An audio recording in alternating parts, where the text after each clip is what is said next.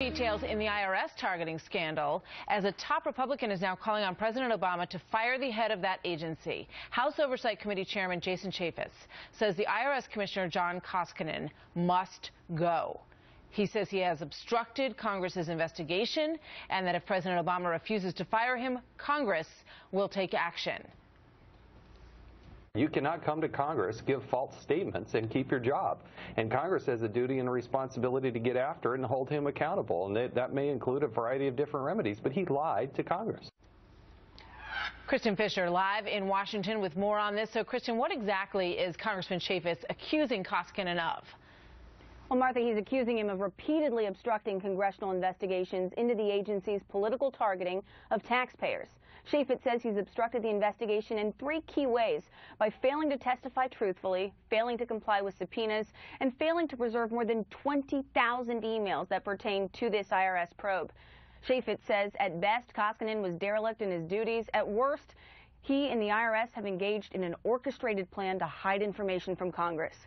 That's why Chaffetz says he sent President Obama this letter yesterday asking him to fire the IRS commissioner after just under two years on the job, or just over two years on the job. Time for the president to remove Mr. Koskinen as the IRS commissioner. It is uh, imperative that this committee pursue all constitutional remedies. That may include contempt, and it may even include impeachment of Mr. Koskinen.